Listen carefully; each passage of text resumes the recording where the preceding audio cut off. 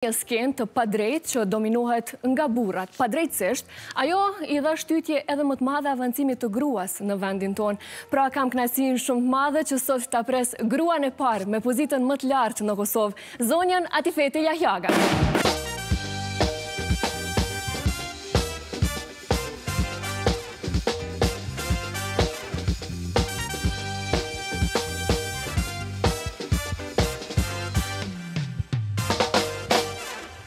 Meci, shumë e madhe që po takohemi sot. Faleminderit shumë, Adelina. është me të vërtet eh, knaqësi e madhe dhe me shumë qefe pranova ftesën nga ana juj. Dhe të falenderoj është zakonisht shumë. Në fakt, kam dëgju shumë të kësa flasim për juve. Unë personalisht e kam pas fatin me të njoft nga afer vetëm së fundme. Dhe konfirmoj gjdo fjallë që të tjerët ma kanë thëmë për juve e që se cila prej tyre është në superlativ. A them të drejtë, në? bashkëpunuese, pozitive, energji të cilën në shpërdojnë. dhe kjo është rëmë rëndësishme. Po vjen mirë. Do së flasim gjërë gjatë gjatë kësa interviste, por një nga komintet që e mora kur disa prej personave të mito afer të kuptuan që do t'jesh pjesë e kësa interviste, ishte si ka mundur jahjaga të mos jetë më pjesë e politikës pasi ka kryer mandatin si presidente, pasi të rraldhjan ata që kure shjoj njëherë pushtetin, pranojnë të tërhiqen. Adelina, unë asë njerë nuk e kam perceptu politikën apo nuk e kam perceptu pushtetin, si që referuat edhe ju ashtu, se diçka që e shion apo që duhet të shiohet. Që nga momenti i parë kur unë jam nominuar për presidentet të unitetit e dherë në momentin e përmbylljës e mandatit, unë këta kam kuptu si një detyrë, kanë kuptu si një mision dhe e kam përmbush me shumë përkushtim dhe me shumë seriositet dhe e kam parë edhe me një farforme si një vazhdimësi të angazhimit tim jetësor për idealet që besoj që shumica prej nesh i kemi dhe besojmë në to që të kemi një Kosovë më të përparuar, Kosovë më të zhvillua dhe një Kosovë demokratike. Thoni që me politikën Heç, heç, kur më? Adelina, unë konsideroj që angazhimi im ka qenë vazhdimisht politik. Mhm. Nuk kam nevoj që të jem presidente apo të jem e angazhuar një një parti politike për të qenë në politikë presidentët janë mbi garat politike dhe angazhimi im ka qenë vazhdimisht politik dhe unë këtë një farë që kam kom dhëmë po në njërë të vazhdushme unë jam angazhuar, por unë nuk kam qenë në garë politike dhe nuk jam në garë politike. Se me ndoni që nuk do t'jani ma në garë politike? Adelina, unë kam qenë presidente e Kosovës për plot 5 vite. Kam ku ma lartë, thuj. Më lartë se kash nuk kam qka. Dhe ka qenë nderi dhe privilegje i mëj madhi që unë i kam shërbyrë për plot 5 vite popullit tim dhe vendit tim. Presidentët thashe dhe me heret nuk bëjnë garë politike, ata janë mbi garën politike dhe unë dëshiroj që t'ju dëshmoj që vendit tanë dhe poplit tanë mund t'i kontribosh edhe në forma dhe mënyra të tjera. Jo do mos dëshmoj që t'jesht një funksion apo në funksionin tjetër. Politika nuk është profesion, nuk ka qenë puna ime, por Adelin, thëmë të dhejten, mhm. nuk besoj që kam i qenë dhe puna puna me fundit. Në fakt këtë e ke dëshmuar që është prej momentit kur nuk keni qenë më në pozitën e prezidentës, e ke dëshmuar një gjithë të tilë, sepse ke bërë vizita të shumëta jash vendit, cila sigurisht në theks e kam pas Kosovën, ke lëbuar në format më të mirat të mundshme për vendin tonë në përbot, ke ngritur qështje shumë të mdha për shtetin tonë po ashtu në përbot, e ma dje së fund me je fokusuar edhe në diçka që ne jemi befasu që është e vërteta. Ka shëndetësia pak? Ha, ha, ha. Adelina, po, është shumë e vërtet, ajo që thatë ju që kam pas shumë vizita jashtë Kosovës, kam pas edhe... Një pyqe kështu të shpejt, a i ke numru në herë të vizita që i ke pas jashtë vendit? Jo, nuk i kam një, unë s'paku nuk kam pas koqeti nje. asë qikat, asë tani nuk po kam koqeti një, është vështirë me për cila tempo që të ndalështë të njëherë të gjitha të angazhime. Ju jeni shumë e re, Adelina, por besoj që e mba një mend kohën kër unë jam zjedhë presidente e Republikës o Kosovës. Kosova ka qeni një krizë gogjat të thejlë politike. Neve në atë kohë kishim vetëm 15 vitet të qlerimit, vetëm 3 vitet të shpallisë pavarësisë e Kosovës dhe duke kuptuar me të drejtë dhe tyren dhe funksionin e presidentit të vendit dhe kompetencat e mija kushtetuese dhe ligjore, unë jam fokusuar shumë pikës së pari në avancimin e pozitës e Kosovës në arenën ndërkomtare, me qëllim që të ndërtoj alianca të reja, të ndërtoj miqësi të reja, ne ishim vetëm tri vitet e shpallis e pavarësisë e Kosovës, fokus të veçante kisha edhe tërheqen e një numëri më të madhë të njohjeve për Kosovën dhe trajektoria e Kosovës adelina në këto 35 vitet e fundit ka qenë gogja pozitive, sepse ne si shtete se shoqëri jemi orientuar në vlerat properendimore, vlera këto të cilat është punuar dhe është investuar shumë kohë dhe shumë kapital edhe nga elitat e tjera politika që kanë qenë, si të mos në këto 3 apo 4 dekadat e fundit. Dhe këtu që une fokusin kryesor e kisha që të investoj në qështje të cilat do besi në vendit, miqësi dhe alianca që shkojnë për tej emrave të përveç si kurse neve si individ, po miqësi dhe alianca që imbesi në vendit dhe qëtëtarve të Kosovës, gjithmon alianca këto të uthequra dhe me një partneritet të fuqishë me shtetet e bashkuarat të Amerikës. Po, në që se i përmendin e referuar në aspektit të shëndetsis, po, unë kam pasur... Jemi duke e pare dhe një Po, kjo po, është spitali pediatrik, është ceremonia e inaugurimit, apo të gurë themelit të spitalit Shejka Fatima bin Muhammed bin Mubarak, është nëna e Emiratëve të bashkuara Arabe, që ka qenë në atëko investimi me i madhë në fushën e shëndetsis. Mhm. Nëse zgaboj, ka qenë rrët 23 milion euro spitali me i avancuar pediatrik për si të mos ideja themetare ka qenë për trajtimin e së mundjeve malinje, pastaj është avancuar në fushat eh, e tjera. Sepse si presidente, Adilina, unë ka marrë një numër të matë eh, të kërkesave, eh, që nga momenti i parë i zjedhjes time, unë jam vërshuar me kërkesa të shumë familjarve, të shumë prinderve, për dërgimin e fëmijive të tyre për trajtime shëndetsuar jashtë dhe vendit.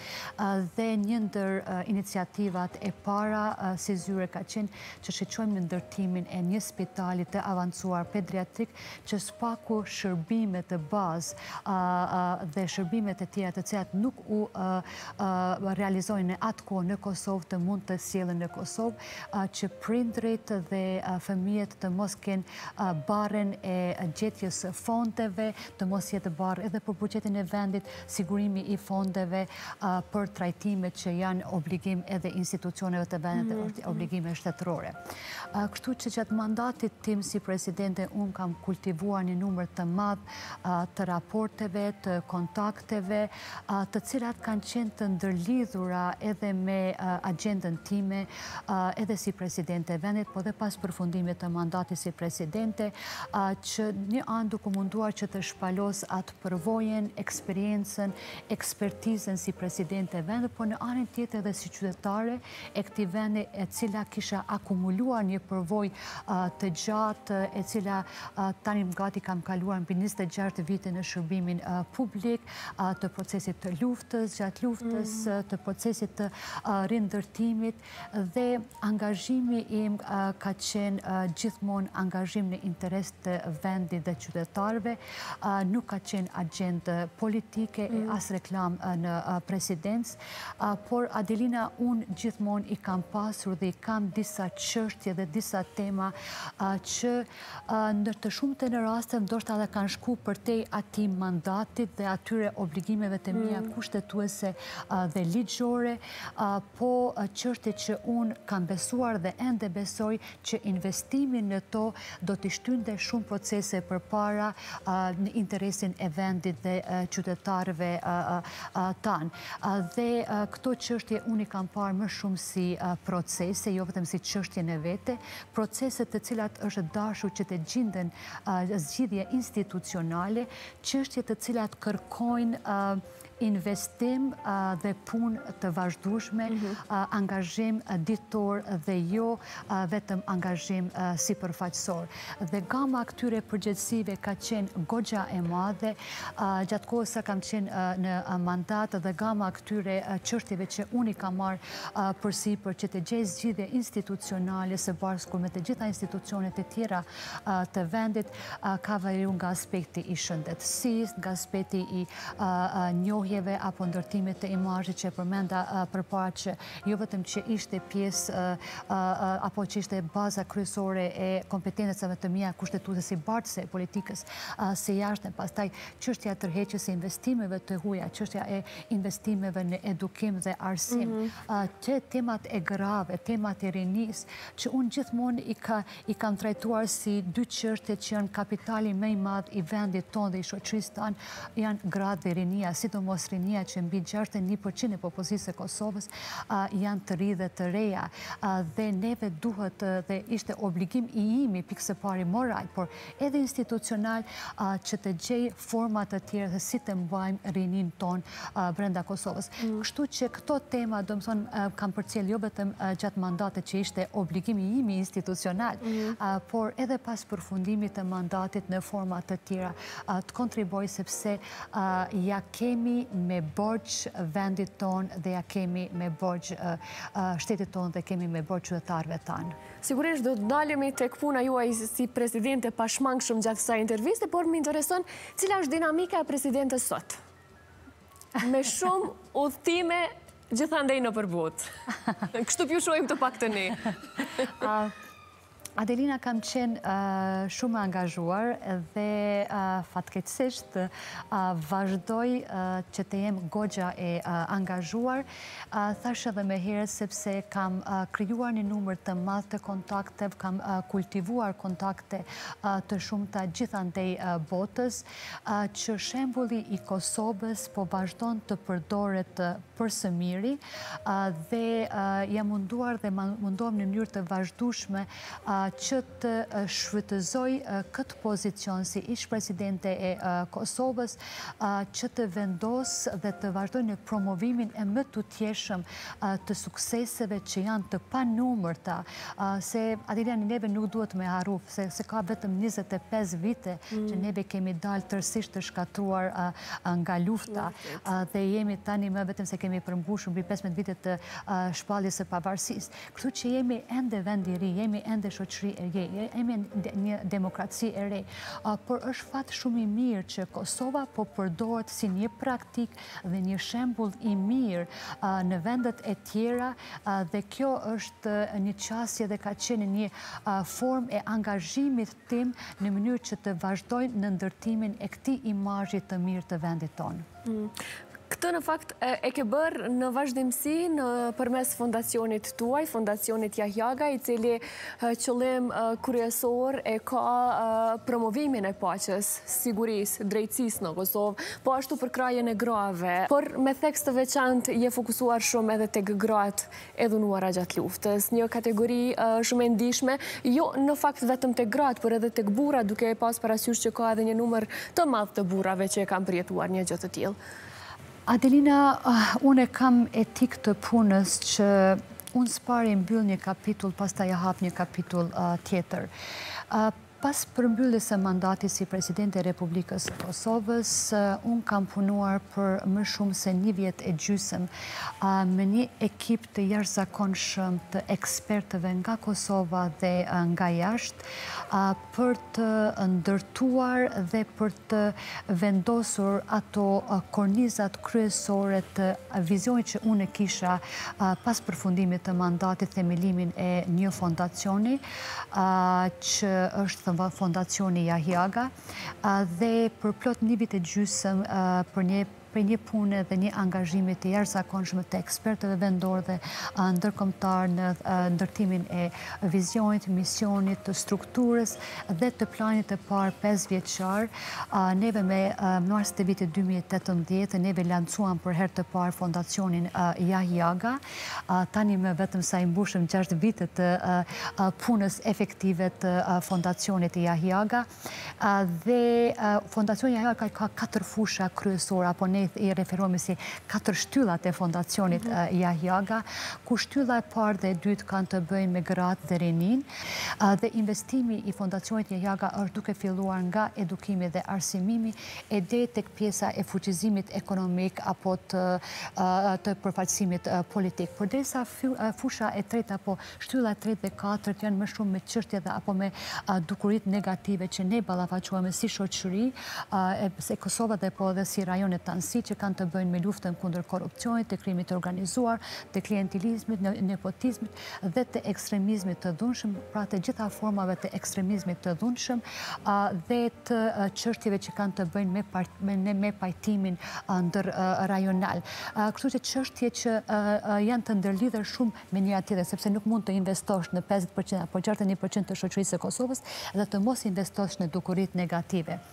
Unë, Adelina, nuk e vëthejqë fondacionja Jaga, unë jam vetëm themeluese, mhm. jam kryesuse e bordit të drejtorve dhe gjithë aktiviteti im në fondacion është pro bono dhe u theqet nga një kip i erzakonshëm i vajzave dhe i djemve që bëjnë një pun dhe... Me gjithat ata ma pohuan që motore është presidentja, që na je vullnete, na shtymë për para, e kojdi briljante. Unë i mendoj të kundërt, unë i mendoj të kundërt, të që motivi kryesor i... Jeni modeste për të arsime. Janë ata dhe është puna, është pasioni i tyre, dhe thjesht, Adilina, unë kam dashur që të vendos një platform kretësish tjetër në mënyrë pikë se pare të vartoj të ndërtoj që thash më herët, edhe në ato parimet, në ato qëlimet që unë i kam filluar, jo vetëm si presidente, por edhe për para presidencet, e si të mos pas për fundimit të mandatit, thjesht tja dëshmoj shtetit ton, tja dëshmoj institucioneve tona, por mësë shumë të qytetarve të vendit, që ka format të tjera dhe mënyrat të tjera se si mund të kontribosh dhe si duhet të kontribojsh ndaj vendit ton dhe ndaj qytetarëve të tu. Këtu që kam deshtë ju ofroj këtë platform të rinjeve dhe të rejeve të tana në mënyrë që ata përmes realizimit dhe implementimit të shumë projekteve të kontribojnë në ndërtimin e mirqenjes dhe përmisimit të jetës së vetë qytetarëve të vendit të tyre. Mm. Prezidenti, duke qenë 14 prili, dita komtare të mbjetuarve të dhunës seksuale në Kosovë, dhe doja të ndalëshem në vazhdim në këtë tem, duke qenë se pikrish kjo tem ka marrë trajtim serios për juve në mandatin e vitit 2011-2016, ku vazhdoj pastaj si një cikl i pandërprer i kontributit për këto gra dhe këta bura. Po që kam ka bërë për shtypje në bisedën që e patëm privatesh para se ta realizonim në këtë intervist, ju acaror shumë faktit i quani viktima këta person puna. Shumë. Ehm, Adinja, pikë së pari, duat të falenderoj ty në emër të të gjithë të mbjeturave të dhune seksuale gjatë luftës, që këtë emision të sotëm ja keni dedikuar pikërish të mbjeturave dhe të mbjeturave të dhune seksuale gjatë luftës, sepse jo vetëm që është një emision që realizohet nga ana e juaj, Po kjo do të thot shumë për të gjithë se cilin të mbjetuar të dhunës seksuale gjatë luftës, sepse për mes këti emisioni ju po përqoni një mesaj për të gjithë qytetarët e Kosovës, se ata dhe ato nuk janë vetëm që jeni ju, jemi ne dhe jemi i gjithë Kosova me të sakrificën dhe me përjetimin qëpar ata dhe ato kanë kaluar gjatë luftës. Po ashtu kë emision do të vazhdoj të kontriboj në adresimin kuptimin e stigmës, që ka qenë, është adresuar shumë në masë, nuk është ajo si ka qenë situata për para. 3-14 vite, 5-15 mm. vite, apo për para 25 viteve, por ende është aty dhe ka nevoj që të adresohet. Po, është shumë e vërtet që unë jam shumë kunder termit të viktim, sepse duke e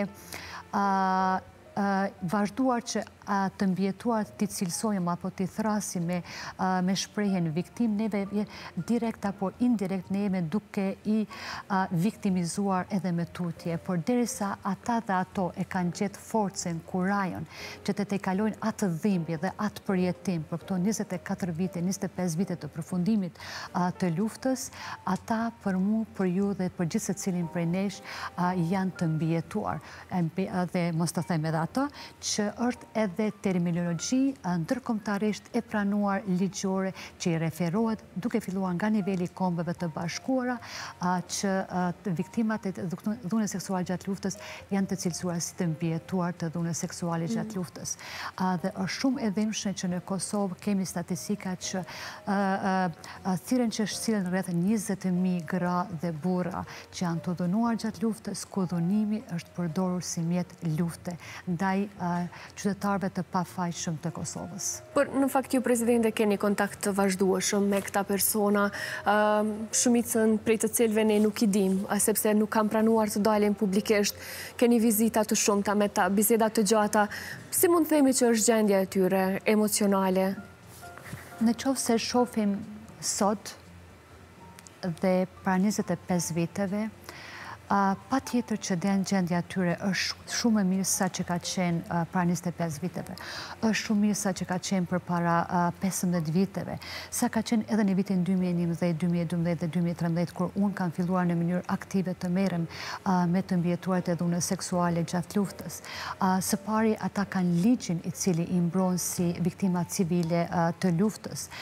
Pasta i kanë procesin institucional që është vendosur në binar që nga vitit 2012 2013 për reabilitimi, reintegrimin dhe resocializimin. Dëmë thonë që është qasje institucionale a kanë pensionin e garantuar me leqë por ende ka shumë pun për të bërë. Edhe si shoqëri e përmendën me herët në aspektin e stigmës, pastaj e kemi qështjen edhe adresimit të kulturës e mos ndërshkimit, apo qasjes në drejtsi.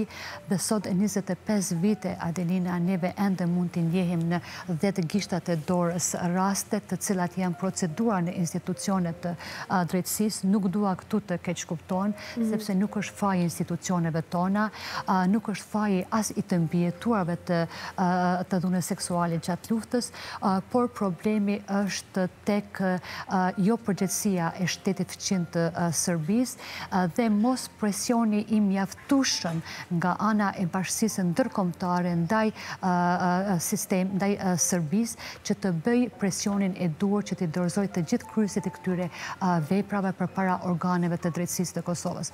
Kështu që është kryër shumë pun, është bërë një pun e jashtë zakon nevojshme për këto vite me radhë, por ende jemi ljarë nga i asaj që është edhe kërkesa themelore e të mbjeturave të dhune seksuale gjatë luftës, që e vetëmija qështje që e siel pachen e qëndrushme dhe qëtsin e qëndrushme në mendjen dhe shpirtin e tyre është kur ata dhe ato e shofin që kryrësit e këtyre veprave makabra po balafaqohen me drejtsit. A ishte një rast konkret që juve ju preku ndoshta më shumë emocionalisht kur filua të merenit me këtë qështje? Apo si mund themi që nisi gjithë shka në aspektin tuaj personal të fokusohen i ka shumë të këtë mbjetuarit e dhune seksuale në Kosovë?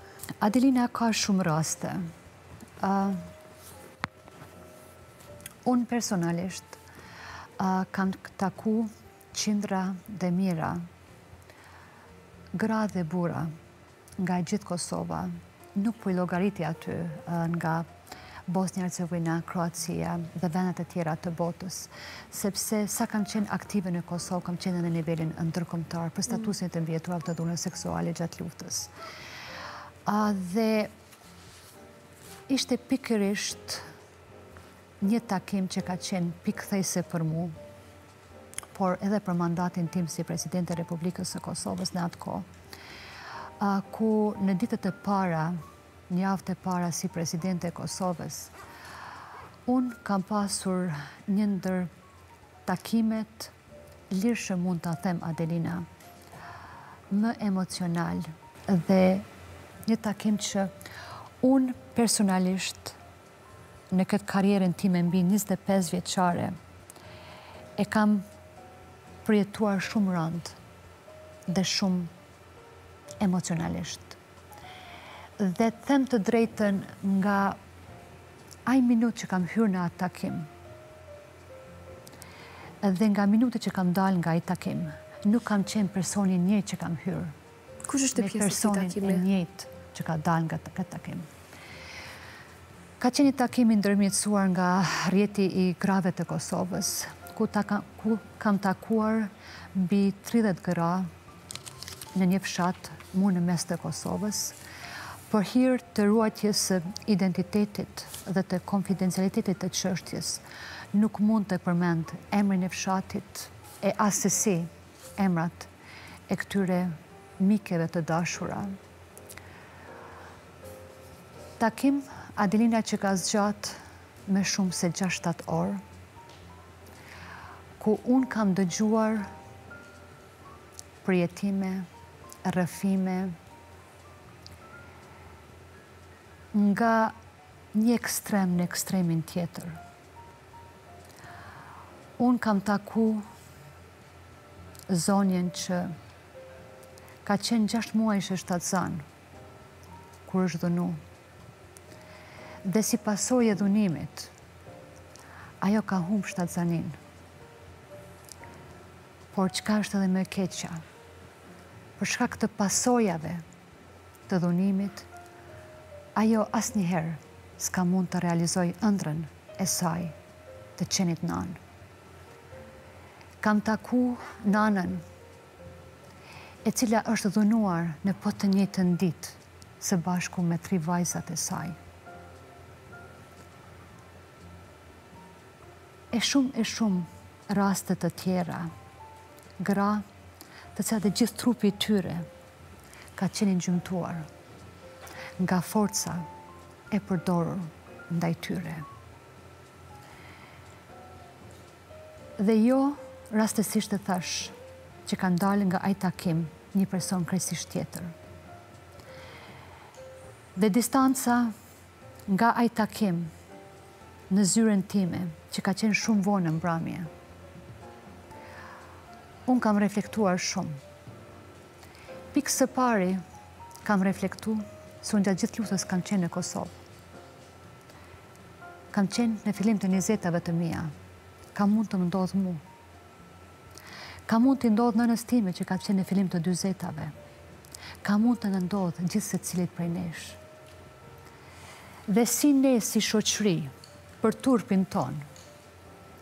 Por deri sa neve kishim marë të gjitha obligimet tona, edhe si shoqri, edhe si institucione, ndaj të gjitha kategorive tjera të dalja nga lufta, të mbjetuarit dhe të mbjetuarat, edhe në seksuali gjatë luftës, për norma të patriarkatit, neve ato i kemi sforcuar që të rinë në heshtja, i kemi mbuluar me velon e turpit në vend që ti mbulojmë me velon e krenaris, kemi bërë padrësisht me gisht ndaj tyre, e në vend që të bëjmë me gisht ndaj atyre që kanë krypto vepra makabre ndaj tyre.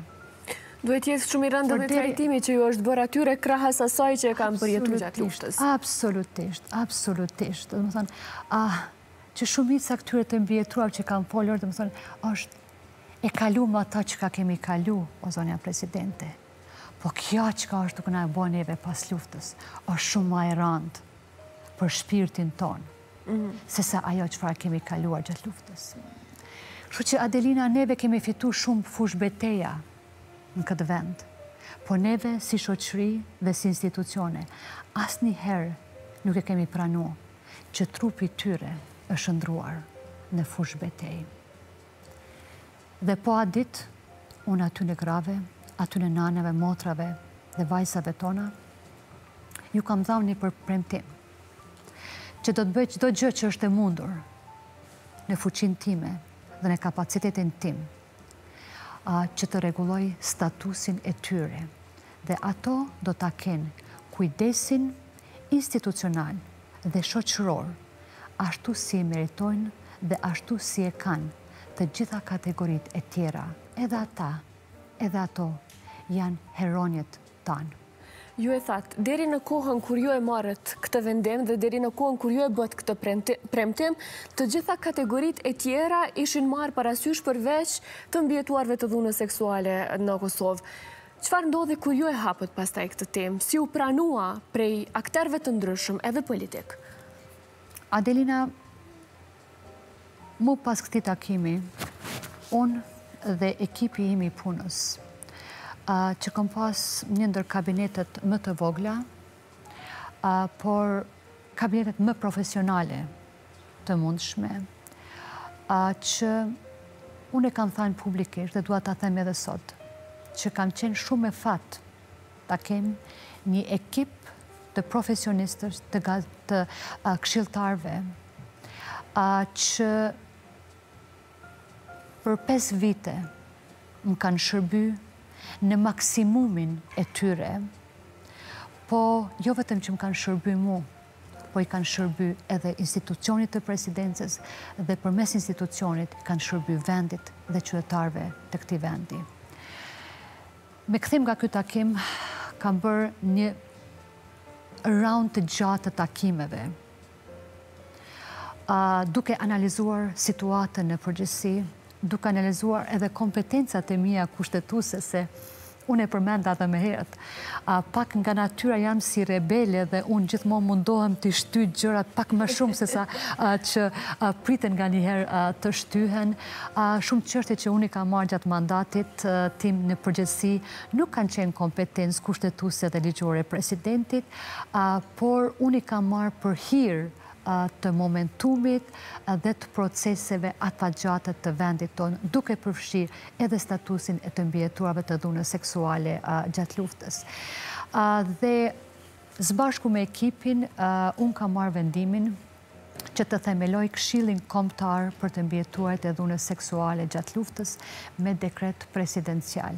Duke u bërë Kosova një ndër vendet e para në botë, që një nivel të presidencial të ngritit një qështje si që kishtë të bëndë të me të mbjetuar të dhune seksuale gjatë luftës. Këtë nuk kishtë as praktik e Bosnia e Cegovinës, as praktik e Kroacis, nuk kishtë as praktik e Rwandës, nuk kishtë as praktik e Sierra Leone, apo të Minamajt, apo është të shumë vendeve të tjera të botës. Që pastaj i hapi rrugë Kosovës dhe institucioneve të Kosovës që Kosovat të përdojt si referencë pozitive dhe e mirë që përbrend brenda dy viteve apo tre viteve të regulot statusi e të mbjetuave të dhune seksuale gjatë luftës. Mos të haroj dhe një element tjetër, Adelina, se temtimi i parë për para këshilit ishte gjatë organizimit të samitit të parë në dërkomtar të gruas në vitin 2012, me njërë pas gjithës time si presidente, ku në Kosovë zbarkuan bë 190 lidere të botës, ku unë së bashku me të ndjerën dhe mikën time të dashu dhe në mikën shumë e madhe të Kosovës, sekretarën Allright në hapën samitin e parë të gruas në Kosovë në dhe në Evropë, grupën juglindore samit që ngërthejnë e vetën binimi e 500 pjesë marës nga Kosova rajoni dhe nivelli botror. Dhe nga ty buruan, sepse qëlimi imi par ishte që nga samitit të nëzirim neve njojnë e statusi ligjor për të mbjetuar të dhune seksuale gjatë luftës. Por nuk shkoj si duhet, sepse ato parimet që dorën nga samiti nuk u votuan në kuvenin e Kosovës si proces e cila do të tërheqë në modifikimin apo amendamentin komentimin e ligjit për blerat e luftës. Dhe tentimi dyti jemi ishte për mes këshilit komtar për të mbjeturat e dhune seksuale gjatë luftës, ku mu më mundësoj që në një truez të gjatë të vendimarjes të sjellë qeverin e Kosovës, të sjellë parlamentin e Kosovës, të sjellë organizatat jo qeveritarë dhe organizatat e grave, që unë duat i falenderoj një numër të matë të tyre, sepse një numër i tyre jenë marrë me të mbjetuat e dhune seksuale gjatë luftës, që nga përfundimit i luftës, mm. edhe me apo pa përkrajnë institucionale, ata dhe ato kanë ofru këto shërbime dhe kanë qenë port e hapur për të mbjetuat e dhune seksuale gjatë luftës. Pastaj të siel organizatat në tërkomtare, të siel korin diplomatik në Kosovë dhe për brenda jo më shumë se 30 ditës të punës afektive të këshillit komtar për të mbjetuat dhune seksuale seksuale gjatë luftës, u vendosën binarët institucional, jo vetëm për amandamentimin e ligjit biblijarët e luftës, ku të mbjetuat e dhunës seksuale gjatë luftës, u njoftë statusi i tyri ligjur si viktimat civile të luftës, por u bërë dhe hapja kapitullit për zgjidhja institucionale saj për këtë rehabilitimit, reintegrimit qasës në shëndetësi dhe qasës në drejtësi, duke i bërë edhe reformë normat e duhura institucionale, kështu që shteti jonë për herë të mpar pas në atë kodë, më thonë, pas 17 vitev e mor atë përgjëtsin institucionale që është dashur ta merë për para disa vite dhe me njëherë pas përfundimit të luftës, ndaj të mbjeturav të dhune seksuale gjatë luftës. Kur jemi këto, do të kalojmë në diqka tjetër, pak më emocionali, sepse e kemi një letër që të është dërguar. Endëruara presidente. E mora guzimin të shkruaj këtë letër, anipse emrin nuk mund të të them sot. Kur të kam takuar për herë të parë, nuk kam pas forët me t'i tregu për jetimet e mija të erta, sepse nuk e kam pas fare të letë me rëfynjarje të frikshme, anipse në një formë, ajo frikë është mbjellë në trupin tim, që nga dita kur unë e nëna, u trajtuam në mënyrën mështë njërzore nga disa paramilitarë serbë. Ani pse nuk ta tregova historin timen në sytë e tue kam parë që po më kuptonë dhe po bashkëndjen me mua. Asot nuk e kam të letë të shkruaj, por jeni jo arsyja pse e morra këtë vendem, pasi jam e tërë që jetoj në të njëjtin vend me ty. Ani pse kanë kaluar 25 vjetë, unë ende kam frikë dhe traumë, por më shletësuar pas trajtimeve që i marë gjdo detë e gjdo natë, edhe këtë në këto momente në Medika Gjakova. Aso ku isha veç 17 vjeqe, dhe që prej atëherë, unë nuk arrita të dua jetën si bashkë moshataret e mija, pasi jeta ime u këpot në gjysmë. Kisha dasht me të taku edhe njëherë pasi, për dalem prej herës e parë, tani ka më shumë forës për t'i të reguar të gjitha.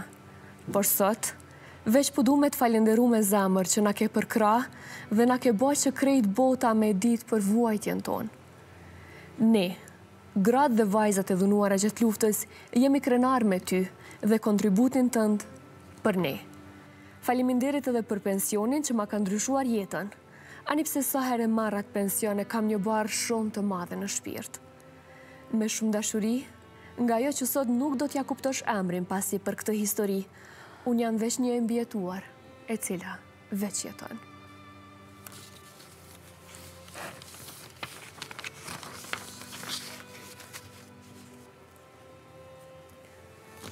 Adelina, të më falësh për emocione. Êshtë e kuptuashme. Por... Ke bashkë ndjerë bashkë me to për gjithë këto vite. Po të kujtohet sa do pak kush mund tjetë, kush mund tjetë kjo vajzë, edhe po pse nuk ta ka tregu historinë të, si kur e ke kuptuar për mes shikimeve. Po e marë me mend dhe kjo zonjë nderuar ka thanë që jam i lumë të reqetoj një të njëtë e vend me ty. Unë dua t'i thema saj. Jam unë dhe jemi ne ata që duhet të jemi të lumë tërë që jetojmë një vend me ta. Se pikërisht përshkak të sakrificës e saj dhe qindra e mira sakrificave të tjera. Ne sot gëzojmë lirin dhe gëzojmë pavarësin ton.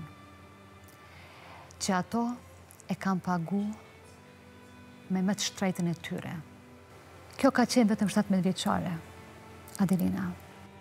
Kemi shumë vajzat të tjera që kanë qenë 15, 13, 11, 9, 7, por dhe 5 vjeqare që unë i kam taku. Pa tjetër që po, kam shumë dërshirë dhe unë të takoj, dhe publikisht ja them sot, që si kjo dhe shi shumë të tjera, që në mjërë të vazhdushme, më shkruajnë dhe i shkruajnë ekipit tim, që nuk ka do një ditë brenda javës apo muajve, që unë nuk e marrë rrugën të shkoj në një qytet apo një qytet e tjetër, një fshat apo fshatin tjetër, që të ulem të diskutoj dhe të bisedoj dhe të bashkëndjej me to për ato që për ato kam përjetuar. Mosu falendero për pensionin, sepse ajë ka qenë vetëm një form e përmbushjes së obligimit ton institucional për sakrificën që ato e kanë bërë. Sepse Komisioni për verifikim në statuset të mbjeturat të dhune seksuale gjatë luftës, Adelina, ka dalë si rezultat i Kshilit Komtar për të mbjeturat të dhune seksuale gjatë luftës, komision këtë që ka filluar punë në vitin 2018, kompromisi hershëm ka qenë që të jetë me mandat për 5 vite, dhe mhm. tash se voni është tu për 2 vite me mundësit e tjera të zgjatjes, që mendimi im dhe këshila ime vazhdimisht ka qenë që të gjithë të mbjeturat të dhune seksuale duhet ju jepet kjo e drejt e përjetëshme. Sikur se që kanë edhe shtetet e tjera dhe praktikat e tjera në nivelin global. Dhe të mos haroj se procesi i punës së këshilit komtar për të mbjetuar të dhune seksuale gjatë luftës nuk ka qenë procesi let, Adelina. Nuk dua të shpalos për hirtë të kauzës vështërësit dhe peripetit e mija dhe të ekipit tim që të bëj këta si një prioritet nacional të institucioneve të vendit ton, por dua t'i falenderoj institucionet, shëqrinë civile, organizatet e grave, por edhe organizatet nëndërkomtare, si që është UN Women në Kosovë, që unë e kam pas një partner të fuqishëm, sidomos nga në këtë vit të punës efektive dhe shumë intenzive të këshilit komptar për të mbjetuat e dhune seksuale gjatë luftës, që është përdorur edhe si form e adresimit të kësaj qarëse në nivel të kombëve të bashkuara. E përmendi zonja që bërë që botat në njohë vuajtjen tonë dhe atë në për cilën kemi kaluar dhe këtu do doja të ndëllidhësha, pasi më interesën të di se si arritët këtë qështje të angresni deri në kongresin Amerikan. Unë adit këtyre zonjave ju kam dha një premtim që nuk do lëgur gurë pa e rotullu që deri zëri edhe të mbjetua se fundit të mos dhe gjohët aty ku duhet të të Por unë ka marë edhe dy mesajë shumë të mdhaja nga këto gra. E para ishte dhe nga të gjitha gra që i kam taku me këto mm. vite me rath, që t'jem një vesh që të në dëgjoj për jetimet e tyre. Dhe dyta, që t'jem za i munguar i tyre, që të në emrin e tyre dhe atë premtim e kam bajt dhe vazhdoj të mbaj. Nuk ka pas Adelina dhe nuk ka as një takim që nga viti 2011 e deri me sot dhe nuk do të ketë të tërshtetutje apo ndonjë një fjalim, apo ndonjë një takim në zyra, apo jarë zyra, apo prezentim, ku do që është, që unë nuk e bëj pjesë permanente të pikave të mija të diskutimit apo të fjalimeve të mija se është një premtim që ja kom dhanë dhe mhm. duat janë baj. Por është edhe një qërtje që ka endë nevoj të punohet për të mbjetuat e seksuale gjatë luftës. është shumë e vërtit. Këthejme të Kongresi Amerikan, kemi fotografi të pikresht nga kjo nxarje shumë e rëndësishme për shtetin tonë. Viti 2019 faktikisht ka qenë një vit gogja nështë me presion të madhë, si të mos periuda nga janari dhe në vitin dhe në muin april, sepse unë kam pas dikon 3-4 aktivitete shumë të mëdhaja për brenda 3-4 mujve ka qenë Kongresi Amerikan, ka qenë Kshili Sigurimit dhe ka qenë konferenca e par rajonale që ka bajtë këtu në Kosovë me të mbjetruat e dhune seksuali gjatë luftës duke përfshi dhe Bosnia e Cekovinin, Kroacin dhe Serbia që ka marrë pjesë në Kosovë dhe e dyta ka qenë në vitin 2022 në Hanover të shtetët bashkuarët e Amerikës. Dhe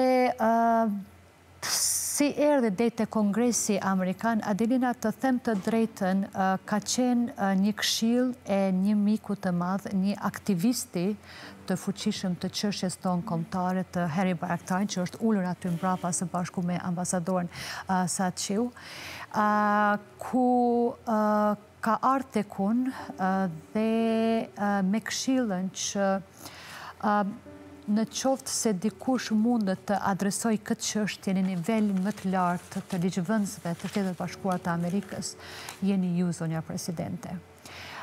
Dhe nga aj moment, unë kam fillu të punojnë intenzivisht dhe për befasin time, unë në janar të vitit 2019, kam dërguzu kërkesën time si ish presidente e Kosovës, mhm. tek kërkesën, kresusi i Komitetit për politikë të jashme të Kongresit Amerikan që ishte po ashtu Miki Kosovës, Elliot Engel.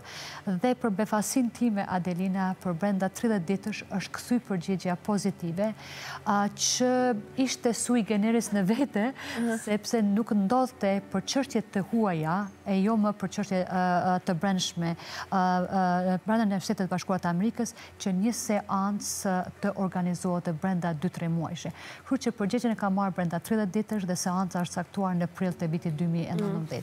Kërë që unë dhe ekipim që kam bra meja të ullur, ka punuar 24 orë në ditë 7 ditë të javës në mënyrë që të kompletojnë dëshmin, që ka qenë dëshmia e gjërë dhe dëshmia e shkurt seancë e cila ka qenë transmitimi drejtë për drejtë për mbi 5-6 orë që i gjithë komiteti për politikë jashme i Kongresit Amerikan ka qenë prezent në sal aty.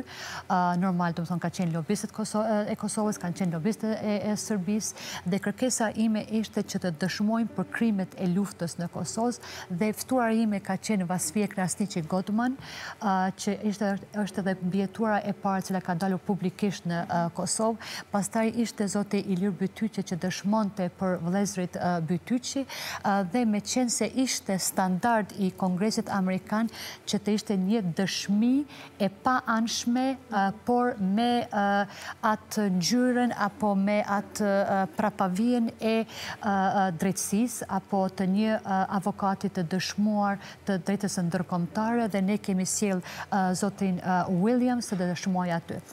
Dhe këtu e kemi adhe ambasadorin Qitaku që dua të shrujtzoj rastin që të falenderoj për një pun të jarë zakonshme që ambasadorin Qitaku ka bërë gjatë gjithë për ju dhe se theme dhe njëherë thonë, kemi pas një periud shumë të shkurt kohor, do më thonë, nga fundi shkurtit, kur neve kemi mm. marë përgjigjen pozitive, dhe dhe në prill, do më thonë, që të kompletohen dhe që të nëzirën të gjitha këto prova, të gjitha këto dëshmi, me të vërtet, ka qenë një pun e jarëzakonshme. Kështu që ambasadora Gjetago ka bërë një dobim të jarëzakonshme në Kongresin Amerikan, për desa neve jemi fokusuar që të generojnë prova dhe dëshmi, dhe që dëshmia e jonë si Kosovë të jetë sa më e përmbajtur e mundur. Kështu që Kosova ka bërë histori në Kongresin Amerikan që së pari të nëzirim për para ligjëvënsve Amerikan për krimet që janë bërë ndaj popullësisë pafajshme nga regjimi i Miloševiqet në Kosovë. Keni raportuar edhe në këshilë të sigurimet, edhe kjo një histori më vete, a? O, Adelina, unë e tharë që ka qenë dirë periudat të më të randa që kom pasë në këto vitet e fundit, sepse për brenda një muaj, unë kam dëshmuar në Kongresin Kongresin Amerikan dhe kam dërshurmuar edhe në këshillin e sigurimit. Kemi fotografi edhe nga këshillin e sigurimit. Sidomos duke ditë që Kosova nuk është vend antar i kombëve të bashkuara dhe të navigojmë dhe të gjitha tyre politikave dhe byrokracive të kombëve të bashkuara dhe të ndëgjohet zëri i Kosovës. Po, këtu jam se bashku me ekipin tim, jam e Medika Gjakobën, me ambasadorin ton, sa që ju që ka bërë një punë të jarëzakonshme gjatë kësaj periude dhe kemi jeta krasnin që ka qenë këshiltare ime, po në këtë kapacitet ka qenë një kapacitet krecisht tjetër që të ndihmoj raportimin e Kosovës në këshilin e sigurimit. Këtu jemi ftuar si mësafire speciale emisionit të Gjermanis në kombet të bashkura, sepse tashmërer Kosova nuk ka ulse në mhm. kombet të bashkura, nuk kemi asësi ulse në kshilën në sigurimit, dhe është dashur që të gjendet dhe unë dhe kimi im kemi qenë më shumë se kreativ në mënyrë që të gjemë formën më të mirë të mundshëm si Kosova duhet të jetë pjes e kësaj tavolinet të mhm. rumbullakt dhe këti proceset e raportimit për në të gjithë gjithë nivelin dërkomtar u raportonte ku dhunimi është përdorë si mjetë lufte dhe Kosova nuk duhet të ishte e përjashtua vetëm për ka fakti se nuk ishte vend të antarë të bashkuar. Mm. Dhe unë e gjitha formulin për mes misionit të Gjermanis që tëftohen si eftuar speciale e misionit të Gjermanis dhe dëshmia ime Adelina të më thonë që nuk është kjo foto, por është kjo foto ja këtu ka qenë shumë e foqishme mhm. sepse unë a ditë me vete kam pasur edhe një të mbjetuar të dhune seksuali gjatë luftës, që foto e saj për arsye nuk është të këtu, dhe dëshmia ime dhe kanë fillu ma ato fjalë që unë flasë në emër të kësaj zonje që është me mu sot këtu, po që ajo për shumë arsye nuk mund të flasë për vetën e saj. Kështu që unë kam folë në emër të të gjithë burave dhe grave, ku dhunimi është përdorë si mjetë luftës.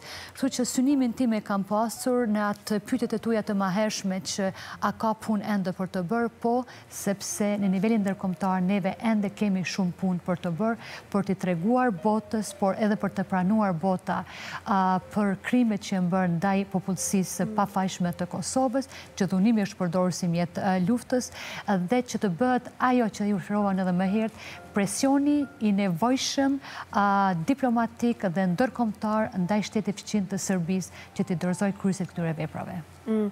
Do të e përmandet zonjën sa dhe e përshuame dhe këtu në foto dhe pikrisht nga zonja sa e kemi një video mesaj që të është dërguar mm. për këtë intervjis, për këtë emision. Sëtoj të ndjekim në vazhdem. Me prezidentin nja joga, më karo jo vetë me utaku, po me qenë edhe dëshmitore e punës sësaj të mrekulluashme si në vend ashtu në nivelin dërkomtar. Si ambasadori Kosovës në New York, kom pasi rastin të takoj shumë personalitetet në alta, të cilët flasin me një admirim dhe me respekt maksimal për punën e saj. Më kujtojt në Washington, pjesa kur prezidentja Jahjaga ishte në dëshmin në kongresë, rreth dhunës seksuale që është bërë ndaj grave dhe burave në Kosovë gjatë luftës. Paracitja e saj ishte në brest dhe prezidentja e Ajaka vazhdo të jetë zë i fuqishëm i të gjithve si kur dje në detyrë zyrtare, ashtu edhe sot duke vazhduar punën e mirë për Kosovë. Ne i pamë dhe më herë disa pjesë kur isha në kshilën e sigurimit, ambasadorja sa që ka qenë ambasadore e Kosovës me rolin dhe tyren si konzullë e përgjithshme në New York. Dhe më më ka fasionu me profesionalizmin dhe me se si ka navigun dhe të gjitha ato byrokratësit dhe peripetit që Kosova të jetë e trajtuar me atë respektin e duhur në kuadrë të uh, uh, kombëve të bashkuara. Uh, dhe Unë them që kam qenë po ashtu me fatë që si bartë se politikës e jashme kam pasur një ekip të jersa konshëm të ambasadorve që asë një pëjtyre se kam njoftë më herët, por që ata kanë qenë një grup dhe një prezentim i jersa konshëm i vendit tonë, sidomos në kryeqendrat të Dhe ajo deshtëm dhe të zdeshtëm është pasqyra e duhur e vendit tonë dhe direkt apo indirekt në ka letësu apo në kompleksu në vështison pun tona nga Prishtina. Pas zonjësa, që ju e kemi edhe një mesaj tjetër? Ftoj të ndjekim edhe tjetërin. Presidente Jajoga më kanë ftu me të dritu me disa fjallë dhe kom knacin me full për juve. Filimisht me ju falenderu shumë për punën që e keni bo si presidente, punë cilën në ta kemi vjërsu ma shumë, ma si e ke kry mandatin jom falenderuse për punën që e ke bo, edhe gjithë mund të t'jem falenderuse, po ashtu përdu po me përmend punën që vazhdon me bo, sidomos me gra që kam përjetu në luft, pun e heshtur e jotja, larkë syrit të publikut, po e cila është jashtë zakonisht e rëndësishme për fuqizimin e grave, sidomos Përtej i Prishtinës, në gjithdo vend të Kosovës, e di që u të pënë shumë, shkon, i takon, kalon ko to, është diqka që unë personalisht të di dhe është punë inspiruese. Kisha pos qep me përmen edhe diqka për fund. Kur ke qenë presidente, ke qenë njështë zakonisht e sulmuar prej medjave dhe prej gazetarve dhe gazetarve të kanë trajtu keqë, kanë raportu shumë keqë për juve, kanë posë qasje mizogjene, seksiste, po ajo që ka gjithmonë do të mbetet për mua e jashtë zakonshme është mënyra se si ju jeni balafaquar me atë raportim, me atë pasqërim të punës suaj në media. Me dignitet, me integritet, asë njëherë nuk i keni sfilmuar gazetarët, keni folur me tam edhe pas raportimeve të jetë negative, dhe keni mbojt, jeni bërë shembul se si duhet një person i veshur me pushtet të trajtoj mediat edhe kur ato janë jo profesionale. Shpresoj që gazetarët kanë su nga rasjot, e di që disa kanë su, dhe po e përfundoj duke thënë palemderit shumë për fuqizimin që nga banë neve kredbe. Kur do që kemi nevoj dhe sahar që kemi nevoj. Palemderit. kështë mesajë i flutrës, e cila më dërgojnë në fakt faktë edhe në një tim që unë desha të ndalën pa tjetër.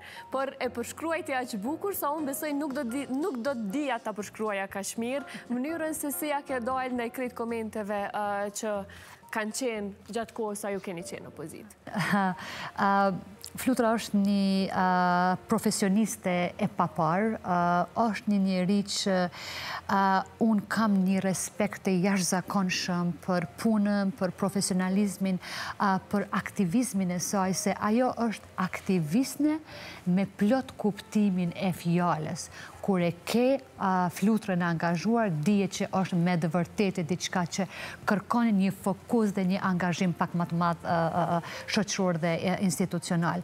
Para tre, por katër javësh, Adelina, unë isha me eftuar në rezidencën e ambasadës Gjermane në Kosovë, ceremoni e dekorimit me dekoratën më të lartë presidenciale për flutra akusarë që unë janë dje shumë krenare si qytetare, si ishë presidente e këti vendit, që një shtetë tjetër, një president tjetër i një vlerat dhe i një profesionalizmin dhe aktivizmin e një qytetare dhe një aktiviste ton. Dhe atë ditë nga jo ceremoni, atë një kom bërë shumë me reflektu, më ka bërë me reflektu shumë. Pikës parit i bëj pytje vetës që neve si shoqëri dhe si shtetë, kur duhet të kthehemi neve që t'ja njohim njëri tjetërit njëri tjetrit vlerat dhe jo gjithmonë dikush nga një nga jashtë të na njo vlerat dhe profesionalizmin e njerëzve tonë. Ti kthehem pyetjes tënde, po, Më thënë, ka pas shumë kritika, ka pas, do më thënë, edhe të them të drejten, ati nuk kanë resht as tashë dhe sa vite pas përfundimit të mandatit. Do më thënë, si do mos dhe ditet e para, po sa i qelëshe revistat apo lajme, do më thënë, 4-5 titujt e part ishën kishën të bojnë, më thënë, se qëfar po veshën sot presidentja, qëfar taka ka presidentja, sot qëfar qante ka presidentja, se apo ga bojnë në shqiptimin një fjale apo një fjale të tjera, kështu që qështjet që s'kanë bojnë asgja me realitetin ditorë, dhe ishtë do isha njëri mikë naqun në qovë se ishin marë më shumë me përmbajtje se sa me formë. Do të isha njëri me knashe që ta gjykojnë ndonjë vendim timin, apo ndonjë vizit timin, apo ndonjë fjalin timin, apo diçka dhe dhe të tonë, por jenë marë kryesisht me formë. Shru që nuk duat të ndalim me këta, por ajo që farë duat të them është sepse ne jemi vend demokratik, jemi shoqri demokratike, jemi demokraci e re, dhe neve duhet me gjdo kusht, duhet të promovojmë kulturën e kritikës, duhet të promovojnë kulturën e shpreje e lirë, edhe atëherë kur dikush thot apo fletit diqka, edhe kur nuk në këpëlqen, e sidomos atëherë kur nuk në pëlqen, sepse ma mirë është kështu sa të kemi diktatur, apo të kemi autokraci, sepse sot Adelina unë e shof nuk është vetëm sfide Kosovë, është edhe të gjitha bendeve të tjera demokratika, aspektja i debati debatit eh, publik, sepse dikur del e thot diqka dhe mandej gjithë energia orientohet se si me komentu pro apo si me komentu kontra. Po të ke fund ma mirë është të kemi atë form të debatit se sa mos me gucu me folfare. Êshtë të qytetëshme, ne si popull kemi shumë ku. Për komente jemi numër një, nuk di brevla, ka e gjejmë kuhën me shojt, me përqesh, me i gjetë si shtatë dhe ju, antë më negative të mundshme, kur në anën tjetër kemi shumë gjëra të mira me e promovu. Ta zëmë vetëm gjatë kësaj bisede, cila është shumë e shkurëtër për me përmend punën që ju e keni bërë, po përshpallosim po një energji tja është zakënshme dheri tash që është bërë. Ah, jo vetëm për gratë, për burat e vinuar po. gjatë luftës, për këtë gjitha, për të e tjera është e me të shoqërisë tanë, por ato që tha flutra është se unë, Adilin, asë njerë nuk janë viktimizu. Po, nuk është natyren ti me pikëspari. Unë për zi, unë jam munduar gjithmonë që presidentën dhe institucionën e presidentës ta bëjë sa më të hapur, sa më transparente dhe sa më logaritënse. Mhm. Viktimizimit e ku nuk gjenë vend asë njerë kaluam tek komentet, sepse na dërgoj flutra drejta asaj i rrugë, por do të kthejem edhe njëherë tek të mbjetuarit e dhune seksuale në Kosovë, sepse do doja të ndalesha si që është libri digital për të mbjetuarit e dhune seksuale në të gjithë botën. Pjese këti libri është edhe Kosova, Por qëka është edhe më interesantë dhe që duhet vënd theks të veçantë në këtë pjesë, është që në këtë kopertinën e këti libri është vendos statuja e hyneshave të Kosovës, e cila është pikrish në qandër të Prishtinës. E kemi fotografin që do të ashohem shumë shpejt e shpejt. E këto nuk e kuptoj heqë qyshja dole me vendos pikrish këtë statuj në kopertinën e librit, ku e thëmë dhe njëherë, pjesë e ti janë gratë dhënuara në të gjithë botën. Adelina, ka qenë mugjat pandemisë, dhe e kam mikë këta shësa vite në sekretarën e kombëve të bashkuara Pramila Paten dhe në takimet e pa ta, në gjdo vizitu në që shkoj në New York, ku në kam takime edhe zyrtare edhe private me ta dhe une vazhdimisht kam pas kritika nga saj, nga saj se si përjashtohet Kosova, mm. si Kosova nuk është pjese asë një raportimit e nivelin të kombëve të bashkua përveç në Women për dhunimin që është përdorë si mjetë luftës, si Kosova tash e sa vite me radhë nuk është pjesë e raportit të regull vjetëtor të sekretarit të përqeshme të kombëve të bashkua që gjdo pranë vjetë, se cili vit raportohet për dhunën në gjithdo vend të botën, të kaluan edhe tani ndaj gruas. Si Kosovë, tërë tërë kohën kritika në basë kritika, kritika në basë kritika ndaj saj. Dhe ajo vjen me ide që gjatë pandemijës të bëhet libri, me dhe në të më in their own words, në fjalet e tyre, për të gjithë të mbjetuarit e dhune seksuale në konflikt dhe në luft në të tërë botën. Dhe ajo me kontakton dhe thot këtë herë unë duat të vërë vendosë Kosovën, përshkak se nuk kam ma arsuetim të i thamë mi këstime që nuk do të përfshi Kosovën.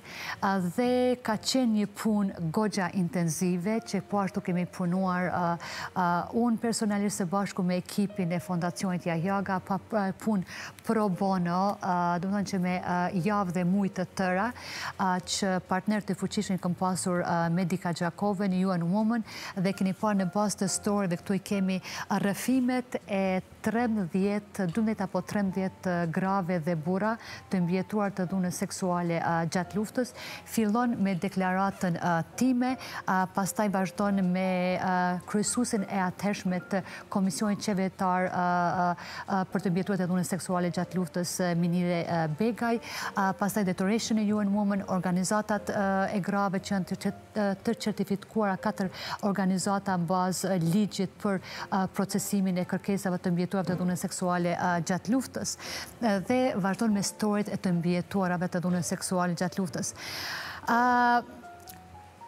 Adilina ka që një moment që përshka këtë disa reagimeve të tjera ne për një qime të flokut Kosova të tërhiqet tërsesh nga këj dhe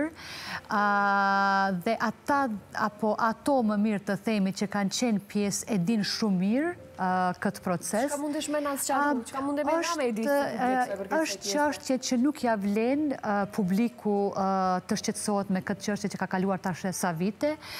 Unë e kam të i kaluar, unë e kam të i kaluar, sepse është një shprej amerikane, është ice on the price, është sytë në qmimin kryesor. Qmimi im kryesor ishte që ti kem storit e mbjetuarve, ta kem Kosovën pjesë të këti libri që për her të par u bëndë në nivel të kombeve të bashkuratë, sekretarit përgjithshëm të kombëve të bashkura, sepse ishte nga në sekretaria e kombëve të bashkura, dhe kërkesa ime dytë, që une përjetësisht jam falenderuese ndaj mikës ti me Pramila Paten, e mori këshilin që në Kopertinën, e këti libri të vendoset e monumenti e heroinave të Kosovës, sepse unë kam dashu që alën një trashegimi tjetër të mbjeturave të dhune seksual gjatë luftës, që thashë më herët sepse disa gjëra jo do mështë është mërë duhet të lidhe me emrat e përveqëm të neve si individ.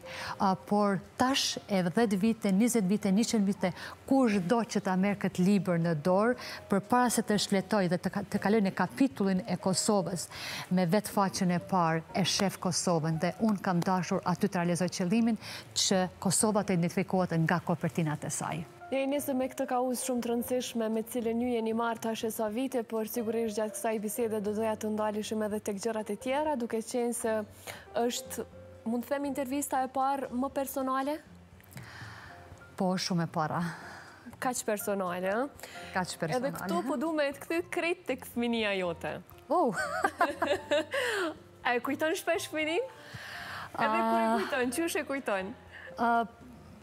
Deshtëm e zdeshtëm, Adelina, nga njëherë për gjëra të mira, nga njëherë për gjëra jo të mira, vetëm kërë shofim vetëm, që ne këthejme një periusë kohore, që thëmë, atë ah, kisha pas këtë, ose ata kisha pas ata, dhe, o zotë, po këto ku e këtë gjithë? të reagim me prita. Presidentja bebe. Dhe të të gjithë mund të ashojnë se si është dukur bebe, bebe fare. Sa mu ishe keni qenë këto e dhe? Je e jashtë zakonshme, sepse s'ka mund as kush dhere me tani të depërtoj në arhiven time apo të familjes time që të nëzirë foto sidomos nga mujtë e partë të lindjes time. A... Adina, dhe për kunder që neve jemi rritë në rethana gogjat të vështira, rethana të represionit, se unë dhe gjithë generata ime, neve që ka e mbajmë këta në mendë, më thonë është që ga momenti i lindjes tonë e deri në momentin e përfundimit të luftës, neve vetëm e kemi pa vetën dhe familjen tonë duko strukur, duko fshehur, nga kjo, nga ajo.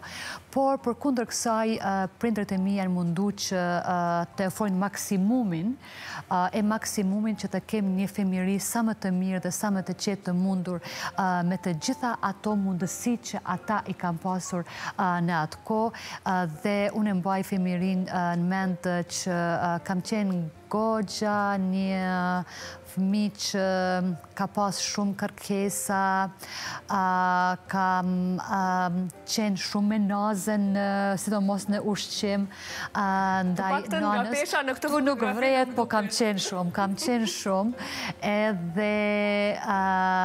Por e mbaj men që kemi pas me shumë loj, ato një normal do më thonë që kemi pas rrugat rrugë jo shumë të populluar me vetura, ambjenti ka qenë mi pas të tjetër ka qenë uh, uh, um, ajri ka qenë me i pasur me shumë loj ka qenë atër uh, dhe që ka njëherë tani kërështit o mos kërëshof njipin dhe mbesen um, kam edhe një farë ndjenje të dhimbjes ndaj tyre, sepse janë atë shumë të orientuar nga teknologjia, janë shumë të orientuar ndaj teknologjia, dhe unë kam miqë dhe miqët e mija që nga femiria që endën unë mbaj dhe vazhdoj të mbaj kontakte me ta, dhe nuk e besoj që tani shoqëria tanishme është ako atë nivel të lidhjes, të raportit dhe të sinceritetit si kërë që kemi pasë në kohën tonë. Êshtë e vërtet, pajtojnë të këtë ka qenë një qëka tjetër që nga ka mobilizu ma shumë e njëri tjetërin, por jo, ajo ka qenë qasje e atërshme e raportit në mes miqve, shokve dhe kolegve. Njerëzit që të njohin nga ofër më kanë thënë që je shumë luftarake. Ke qenë e tjilë dhe kur ke qenë fmi? Njerëzit që të njohin nga më kanë thënë që je shumë Shumë kërkuse, luftarake ndaj kërë dëshirave tua, ndaj arritjeve, e gjërave të tjera? Gogja shumë, Adelin. Gogja shumë. Dë thot e ke prej fëminis? Jam... Jam rrit në atë frym, jam rrit në atë frym që gjithmonë unë e kam pas atë qëlimin tim, kam pas objektivin tim, ja kam përcaktu vete se ku unë dua të rri dhe qëfar dua të arri dhe për befasin time gjithmon e kam gjeneru për krahjen. Në më thonë, në një formë apo në formën tjetër, pa marë parasyr se shumë vendime apo shumë iniciativa që i komarë, nuk kanë qenë ndoshta, si të mos për kohën kur unë i kam marë, nuk kanë qenë ashtë konvencionale dhe unë kam qenë gjithmonë natyrë që më shku kunder rjedhe, sepse rjedhe arë gjithmonë dhe din ku do përfundoj. Po unë gjithmonë kam qenë aja që i kam shtu gjërat një hapë më tutje. Hajde të aprovojmë këtë formë, hajde të aprovojmë këtë qasje. Kështë ka përkrahë më shumë në këto idit e qmendura? Babi. Babi babi ka qenë gjithmonë aj që më ka përkra dhe vazhdon të më përkra, se sidomos, o zot, e kjo foto është vetëm disa javë para përfundimit mandatit si presidente, ku jemi gjithë familja, është babi, është mami, është vlau dhe une. E mos ta kisha pas përkrahjen e ti, nuk besoj që do kisha arrit këtu ku kam arrit deri më sot. Dhe roli i prindërve se si i edukojnë fëmit dhe në qëfar fryme i edukojnë fëmit është vendimtar. është qenësor. Kosova që kemi neve sot, nuk është asë Kosova që ka qenë për atëve viteve, asë Kosova që ka qenë vitin 2011, kërë unë jam zjedhë si presidente e Pargrua, presidente e Renëmor, sepse kam qenë një diri miri në botë i zjedhë në mënyrë demokratike, kam qenë vetëm 35 veqë, kërë unë jam zjedhë presidente. Definitivisht që nuk ka qenë edhe kjo Kosovë për para 20 sa vitër kërë unë kam lindu, të më thonë, kemi qenë gogja shoqëri patriarkale dhe jemi gogja shoqëri patriarkale.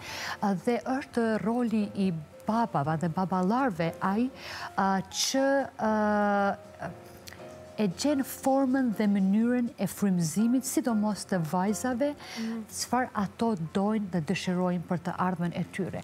Kështu që uh, unë kam qenë shumë e fatë, që kam pasë, për të përndi që kam pasë, babin dhe uh, mamin, uh, sepse asgjë nuk ka qenë e pa mundur dhe pa realizushme. E thashë dhe më herët, unë kam marë shumë vendime profesionale, që një farforme është dashu një gudzim shumë i madhë, sidomos në momentet, momentumet dhe rethanat të cilat unë i ka marrë këto vendime,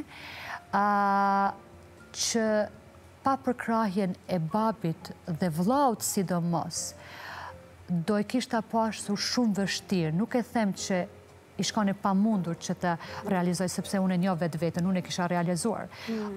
Por, babi dhe vlau ma kanë bërë shumë të letë Dhe unë dhe vlau im jemi rritë gjithmonë me atë frymen, që ta shpeshenim e ndëgjojmë këtë thënjen uh, uh, uh, anglisht që sky is the limit. Unë jam rritë me atë form të menduarit dhe të shprejhjes nga prinderit e mi, sepse për mu dhe vlaun tim nuk ka pa qka që ju nuk mund të arreni, do thonë. Ne jemi këtu me ju përkraj juve në maksimum, qëfar juve dëshojnë të arreni për vetë vetën dhe për profesionin e juj. Po edhe qka shumë e rëndësishme q që jeni rrit duke mësë bërë ndasi gjinore brenda familjes. Absolutisht. Që duhet të potencojnë brenda kësaj bisede. Jo, Adelina është shumë e vërtet. Dëmë dhënë që në familjen time, historikisht, të më thonë, ku është do që një familjen e babit tim, e din të më thonë që me gjysh dhe katra gjysh ka qenë ajo qasje ndaj rolit të gruas në familjen tonë, për që si të më thonë, nuk është vetë me mu, sepse nuk ka fillu me halën time, po ka filluar dhe me disa generata për para. Dhe unë asë njerë nuk kam dje vetën që unë jam vajz dhe unë du të përkujdesim për shtëpin, të më thonë, unë dhe vëllohi kini pas pun të dara barabart në në familjen tonë. Dhe e thatë ju e të të që një para sa që shumë shpesh, edhe pse prindrit mundu, a të dina që të japin atë mesajin që ti dhe astriti jenë të barabartë. Po, unë e di, edhe e kam të dëshmuar këta, dëmë thonë se e di pse e them, që unë kam qenë dhe jam ajo e privilegjuar në familje. E këso që gjithë mund jam gjenë e fajnë dhe i vlautim. Kras krejt familjes, ne kemi kuptuar që pika juaj e dobet është babaj, dhe pikrisht nga pika juaj e dobet e kemi një letër. Djali babës, pse të djali babës? Ah sepse... O, Adelin, e the që është pika dopt, po me të vërtetë, babi është ka qenë dhe vazhdojnë të jetë pika dopt e imja, mhm. por të gjitha ato arsy që i përmenda dhe ka shumë e shumë arsyet e tjera, që unë i di dhe aj i din, dhe gjithë familja ime i din. Sepse, në ato që farë unë kam kaluar, sidomos në karjerën time profesionale, dhe që nga momenti kur unë kam qenë e vogël, dhe që kam fillua dhe hapat e parë, unë e kam shëqru babin gjithdo kundë. Mhm. Ama gjithdo kun. Në qofë se babi ka dalë të pime shoqrinë e ti, a i ka hip në motorin e ti, ka pas, ka qenë një fans të primat i motocikletave të mëdhaja, të tipe të Harley Davidson, të Kawasaki, dhe atyre të mëdhaja, dhe a i gjithmon ka vendosë në motor për para ti. Dhe shokët e ti gjithmonë, Ha, Zotë Ibrahim e Sile, djalin ka qere të mësosh, thët, o, nuk është djal, është gockë. E kuptuam. E kështu që, do më thonë, ka fillu më një farforme forme të tjertër dhe ka vazhdu. Shakoja pas ka vazhdu dhe në këtu vitet të jetës. Njofka, do më thonë që kam qenë djali babit dhe vazhdoj të jem djali babit, po jam edhe goca e babit, që aji është dhe vazhdojnë me qenë pika dovet, por edhe mami, se për deri sa të dytë aty e ata e kanë marrë një mision të përbashkët, që të na rrisin mu dhe vlaun tim një një frym krejtësisht tjetër që nuk ishte standardi asaj kohë, si kurse që neve ishim rritur, por mami ka marë mbi barë, mbi e saj, edhe shumë role dhe përgjësit të tjera, vetëm që mu të mliroj që unë të orientohem me diqka që ata kishim parë shumë ma herët sa që unë e kam parë për vetën time. Pika juaj e dobet e shkruan kështonë.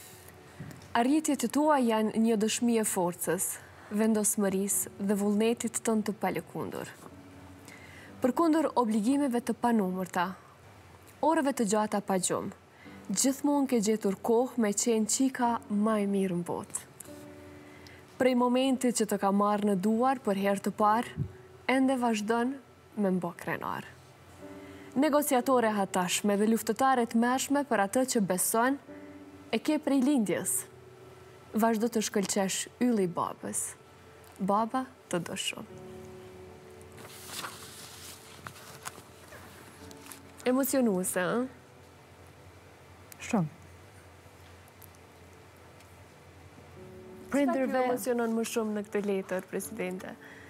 E gjitha, por Andushta vetë të fakti saj nuk franon të jetë person publik, dhe edhe jo. për kundër kësaj... Jo, jo, jo, e si të mos të e njovë të babin Shumë zë bërgjerë sot. Dhe sot që është mundu shumë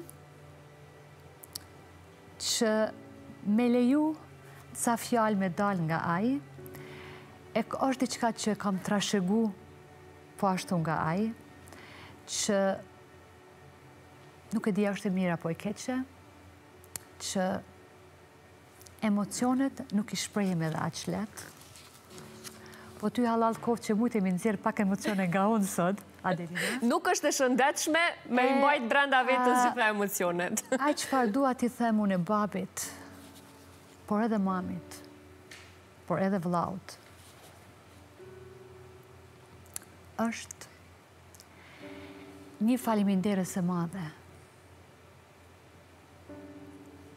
Po, është shumë e vërtet, që pa marë për asysh, ku do që jam, apo ku do që kam qenë, në cilin kanë të botës, sidomos gjatë mandatit si presidente. Nuk e kam filluar ditën, asë se kom përfundu ditën, pa i pa, apo pa e ndëgjuzonin.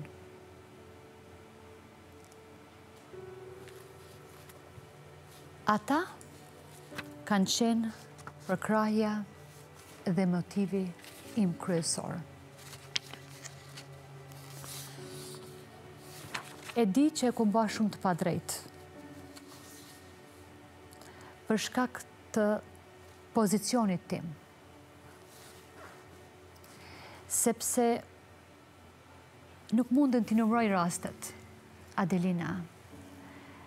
Sa herë që unë ndërta kam qenë në mesin e ha hengut familjar. Po sa është shtru trueza e bajramit, apo e natës e vitit të ri, apo ndonjë feste, ndonjë ditlindje, apo ndonjë ahengu të përbashkët, që unë kam marë telefonat, duhet të shkoj, kam këtë takim, kam këtë obligim, kam kam këtë ullëtim, por janë pikërish këta që ma kam bëmë më shumë atlet. Sepse nga njerë janë edhe familia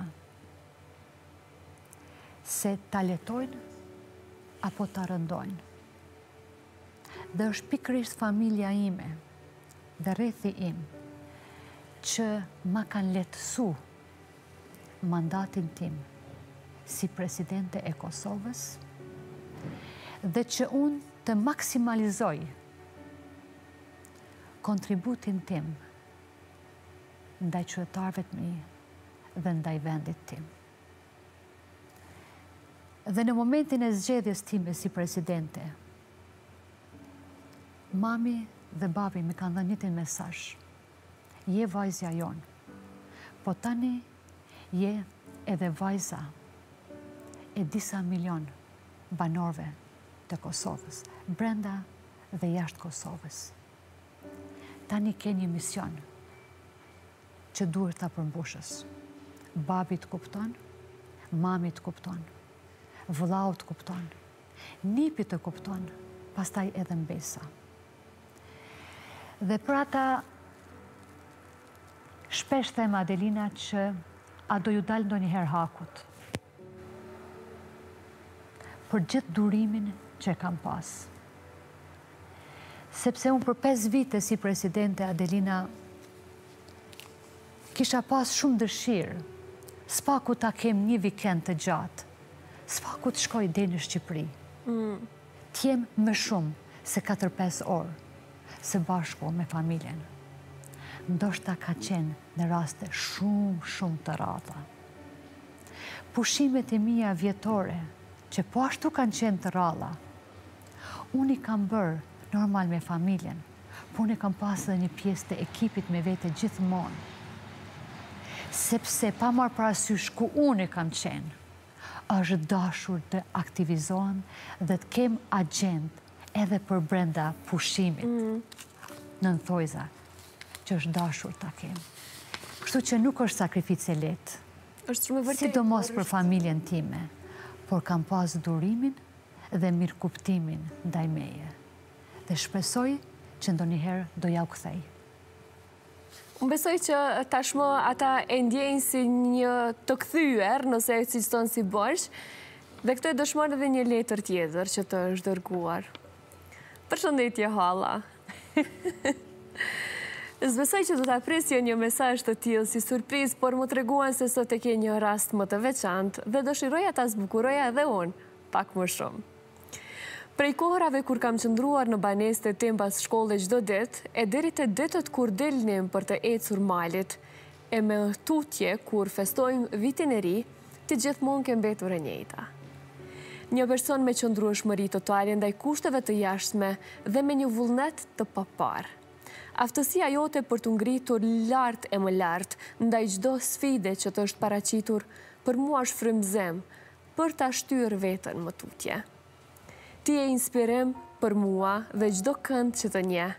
Kështo, onë dhe të gjithë familia jonë të falendrojmë për gjithë shka që ke sakrifikuar që ne të jemi të ljumëtur dhe që onë ta kem një frimzem për të arritur më shumë gjdo det. Të dua halë. Ha, ha, ha. Shpirti halës, gëzimi jo një parë, mhm.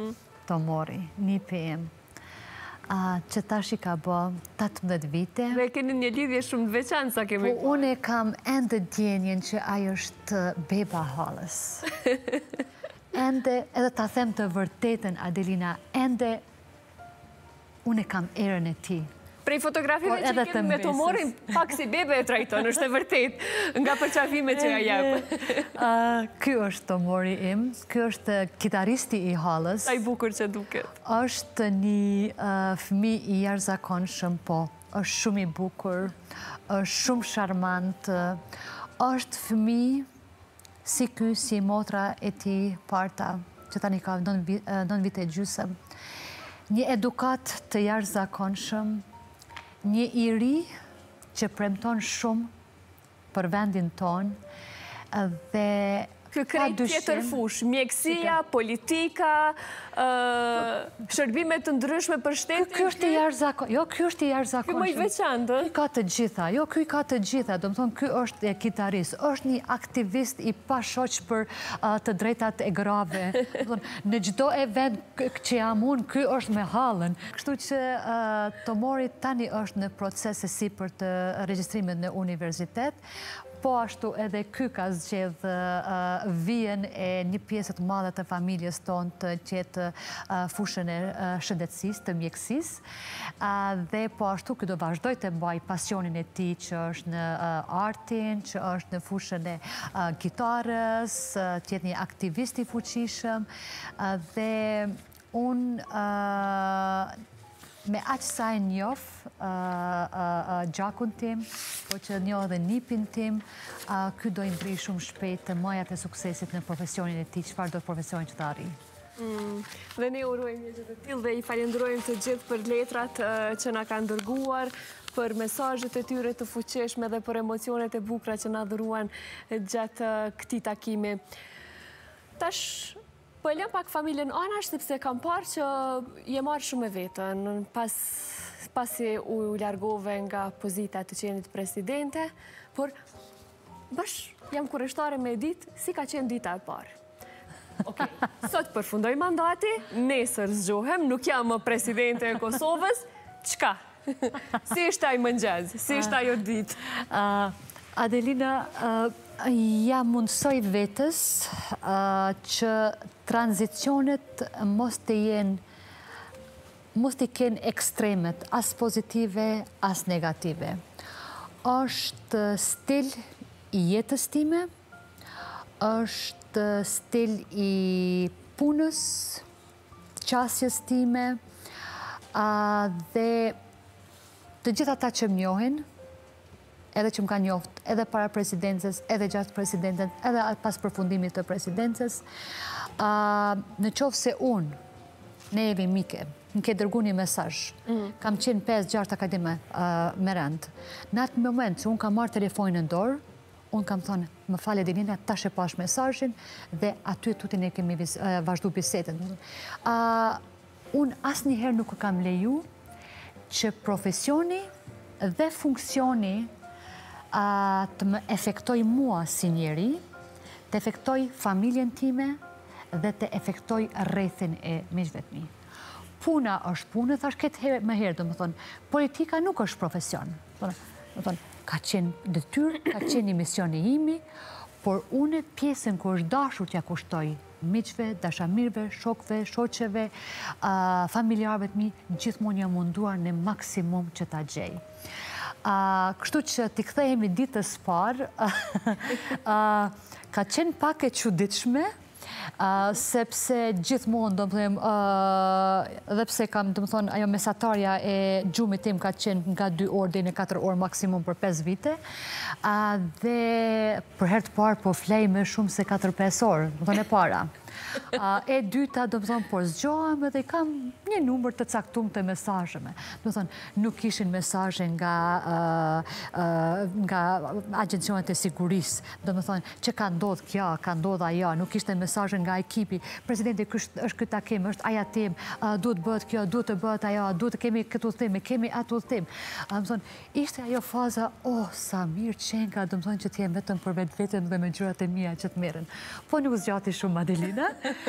sepse duke njoftë vetë vetës, vetë vetën, dëmë tonë unë nga dita e drejt e katërt, unë kam vazhduar, dhe me thonë, me ato që thashtë që kam disa qërti, që kanë shku për te mandatit dhe funksionit tim, që kemi obligim moral, e si do mos kur mveshës me atë përgjensin institucionale, që duhet të vazhdoj të kontribojshë ndaj popullit dhe ndaj qydetarve tu.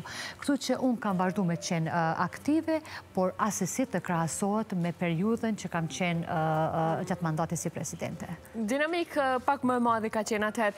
Kemi parë që je marrë dhe me hiking. Ke vizituar bukurit e Kosovës dhe më tej. Shumë fotografi dhe po, bukra. E du shumë ecjen. E du shumë ecjen.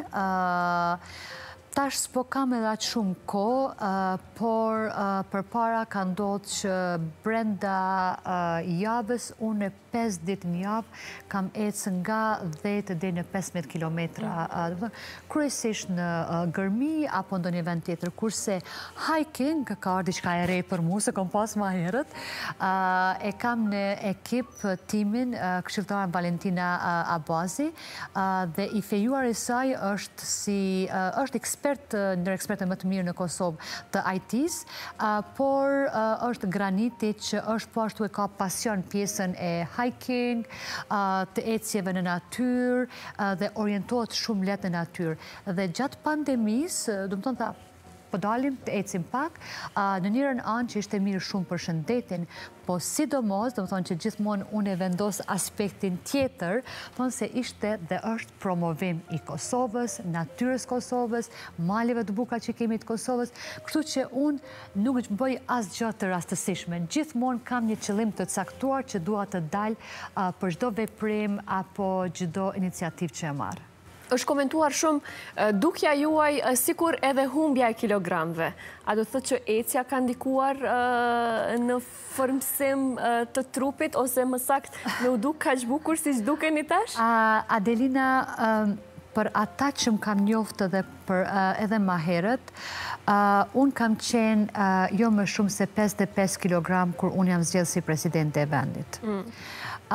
Dhe nuk e di se që fa ndodhi, unë besoj që kryesisht ka qenë përshka këtë stilit jo të regull të jetës, që unë ka pas ndërta njëherë një 24 orë apo njëherë në 28 orë kam granë, ka qenë stresi, ka qenë jo forma e duhur e ushqimit, koha e duhur e ushqimit, dhe unë përbend dhe 7 muive kom shtu mbi 20 kilogramë, dhe duke pa vete dhe duke jetu në një familje të mjegëve, unë fillova, fillu më një kritika, ta ankesat të gjitha të tjera, që të vendosë rend në ushqim, që në kërësisht i ha tri racionet e ditës, që të mirem paka shumë aktivitet, se në presidens nuk kam pas kote, përvesht në qose kam qenë duke esën nga një takim në takimin tjetër, por shumë të ralla ka qenë ato momente që unë kam dalë të bëj ecje vetëm për hirtë të shëndetit tim. Nuk jam person që mundem të ushtroj brenda, do më thonë indoor, nuk jam person që mundem në hapsira të mbylla që mund të ushtroj, kështu Kështu që mundohem nga një herë që të dalë jashtë, të ecë, të mire më aktivitete të tjera, por unë e them shumë që ka të bëj edhe me genetikën. Më dhëmë sepse është edhe nga ana e familjes, edhe nga ana mamit, edhe nga babi kemi të rashigun genetikë shumë të mirë. Mhm. Keni takuar shumë meqë, në ndërkosa ju keni qenë opozit, keni takuar meqë edhe pas për fundimit të mandatit. Por që farë më bën mua për shtypje, krahës krejt këtyre meqve, krahës krejt këtyre raporteve të mbrekulluash që i ke pas. Pse Joe Biden është në profilin tonë në Facebook?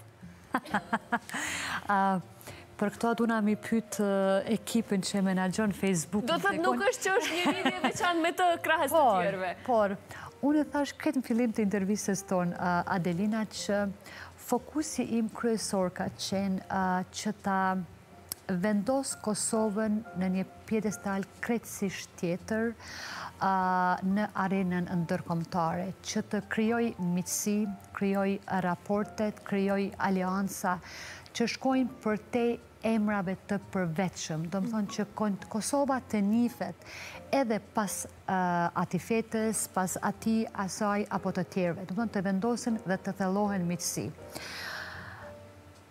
Në është në rraset e rala, Adelina, që në përmbyllje e mandatit, një president që është në shkuarje, mhm. ti bëhet një vizit në krye qendra të botërore.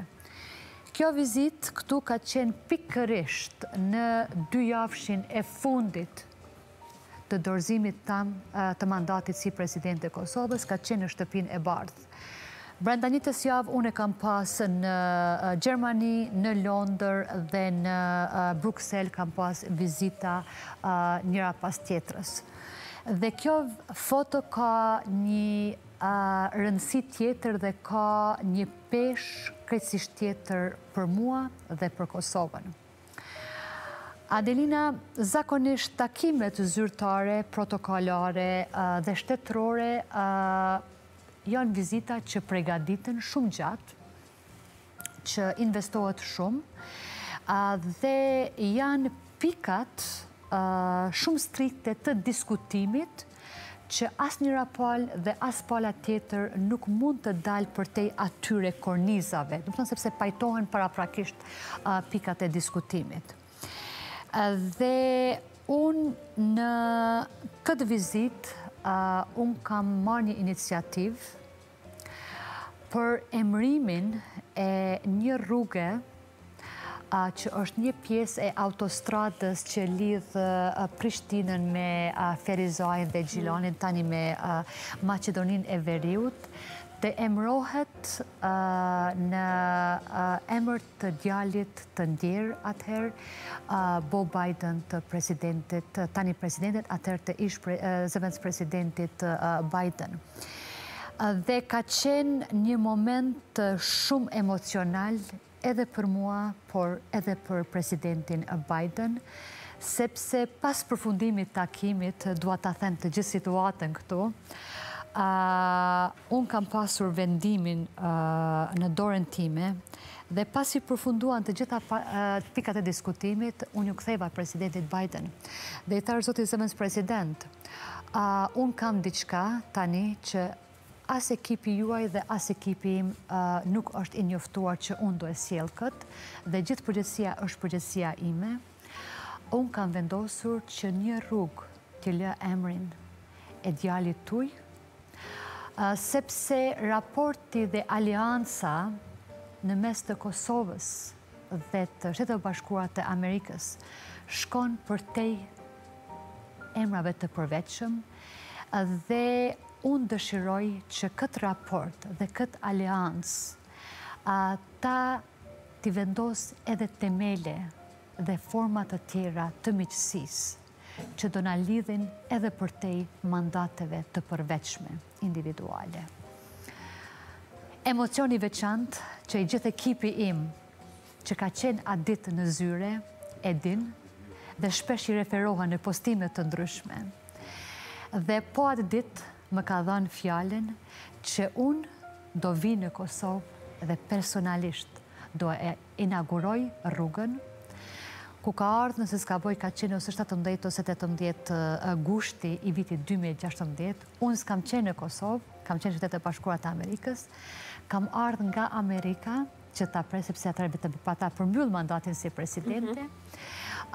që të në ceremonin e inaugurimit të kësaj rrugën dhe ajo foto nga aj moment kam bet dhe është pikërisht kjo arsye pse ekipi im ende nuk është vendosë këtë foto Aska qenë krastë emocionale Presidenti Biden po, Presidenti Biden atë dit por edhe në ceremoninë e inaugurimit këtu në Kosovë afer kampit të bënstilit e dha një premtim publik dhe duhet të referohem në gjuhën angleze.